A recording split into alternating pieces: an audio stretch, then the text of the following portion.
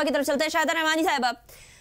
بسرا صاحب بھی یہ کہہ رہے ہیں پی ٹی آئی ساری یہ کہتی ہے کہ اگر آپ لوگوں نے پیپلز پارٹی نے پی ایم ایل این نے کچھ مختلف کرنا ہوتا، کچھ out of the box solution لے کر آنا ہوتا سسٹم کو صحیح کرنا ہوتا، تو آج اس پوائنٹ پہ پاکستان نہ ہوتا۔ تین تین بار اقتدار تقریباً آپ لوگوں نے دونوں جماعتوں کے پاس رہا۔ کیا واقعی میں آپ لوگوں نے مکمکا کی سیاست کی ہے؟ دیکھیں، بہت شکریہ۔ سب سے پہلی بات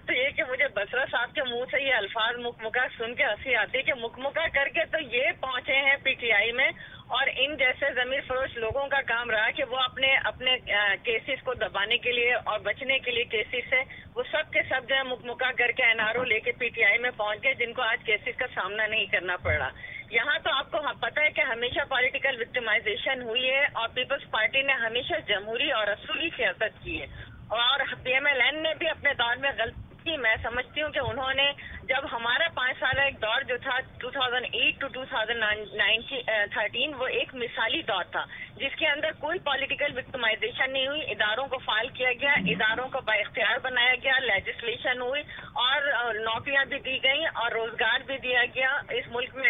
کو اوپر ریٹ اوپر تک لے جائے گیا اور آپ نے دیکھا کہ اس دور میں جو ہے ہماری ایگریکلچر کراپ جو ہے وہ بہترین ہوئی۔ یہ ساری چیزیں تھی جو ہم نے ڈیولپ کر کے دی اور لیجسلیشن بھی کر کے دی اور